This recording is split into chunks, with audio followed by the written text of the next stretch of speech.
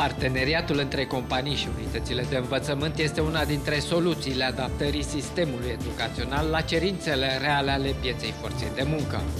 O instituție care a înțeles să colaboreze cu societățile de profil și care pregătește viitorii specialiști din domeniul aviației este Colegiul Tehnic de Aeronautică Henri Coandă din București.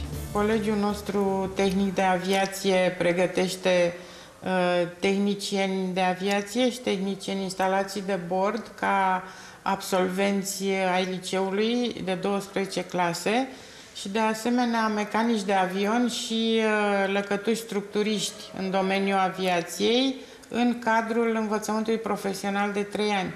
Amândouă diplomele sunt recunoscute în Uniunea Europeană. În cadrul atelierelor se fac ore de practică și de asemenea uh, în școală, în cabinetele tehnice se fac ore de laborator și o parte din orele de practică se fac la partenerii noștri, la Tarom, la Romaero și la Bluer, cu care avem convenții de practică. Încercăm să elaborăm un proiect pentru dotarea atelierelor cu niște mijloace moderne, specifice din aviație și de asemenea să realizăm o, un schimb de experiență între elevii noștri, profesorii noștri și elevii și profesorii unui uh, grup școlar, colegiu similar din Franța, uh, patronat de Airbus.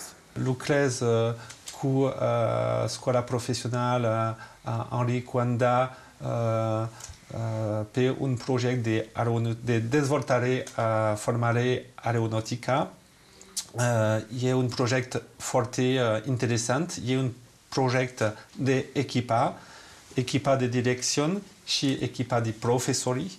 Uh, proiectul nostru este uh, să dezvoltarea uh, formare uh, profesională pentru industrie aeronautică. Uh, am elaborat un proiect uh, Erasmus Plus pentru formare uh, profesorii ingineri. Uh, și am renovare, uh, renovat atelierie pentru uh, dotarea lor cu echipament modern. Corelarea programei de învățământ cu evoluția tehnologică este un aspect care intră în preocupările cadrelor didactice de la Liceul de Aviație din București. Noile standarde au fost elaborate în legătură strânsă cu foarte mulți agenți economici din toată țara. Și era normal să se întâmple așa ceva, pentru că vechile standarde de pregătire profesională au fost elaborate cu mai mulți ani în urmă, 2003-2004. Cei care sunt la liceu tehnologic au, conform planului cadru, au de efectuat uh, stagii de pregătire practică, asta înseamnă 5 săptămâni sau 4 săptămâni, respectiv la clasa 12 -a, vor primi adeverințe de practică, care sunt foarte importante pentru portofoliile personale ale elevilor, din care, din aceste adeverințe, este faptul că ei au efectuat practică, un anumit număr de ore, 60 de ore, atâtea, așa, plus că se face o evaluare unde sunt niște criterii de performanță pe care copiii au trebuit să le îndeplinească. În fiecare an școlar se renoiesc aceste parteneriate, protocoale de colaborare. Avem cu Romaero parteneriat pentru două clase, o clasă de liceu, tehnician mecanic pentru întreținere și reparații și o clasă, uh, clasa 11 a școală profesională, este an terminal. De anul acesta s-a schimbat metodologia de absolvire a școlii profesionale. Ei vor obține, în urma unui examen, vor obține calificarea de lăcătuși, construcții, structuri aeronave, vor beneficia de ultimele șase săptămâni de școală vor beneficia de practică la locul de muncă la Romaero, iar la sfârșitul acestor săptămâni de practică, conform metodologiei, vor susține examenul de absolvire la agentul economic.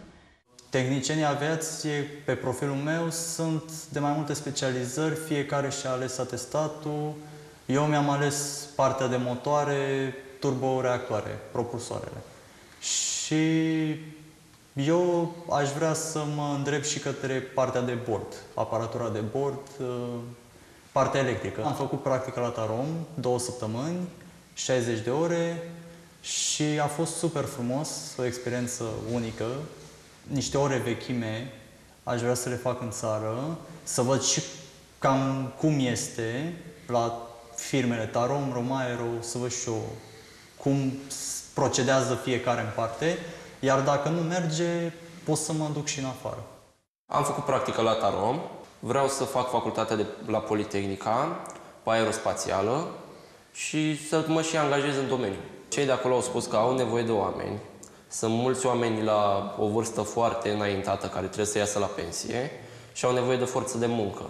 Au spus că dacă doresc să mă angajez acolo sau să încerc, mă primesc cu brațele deschise. Mă gândesc pentru primul plan să lucrez în România timp de vreo 5-6 ani și după un timp minim de acomodare să plec în străinătate.